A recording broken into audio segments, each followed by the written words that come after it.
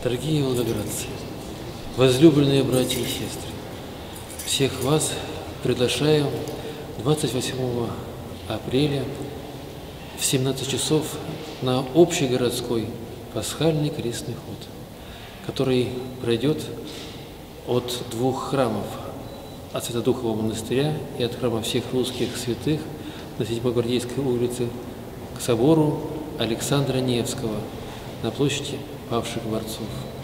И там мы сольемся единым потоком того, чтобы прославить нашего Господа Иисуса Христа, воскресшего из мертвых, и встретить в 18 часов из Иерусалима к нам пришедший благодатный огонь.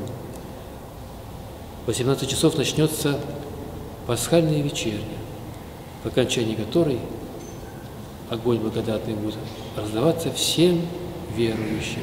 Всех вас приглашаем на совместное торжество Пасхи Христовой. Христос воскресе!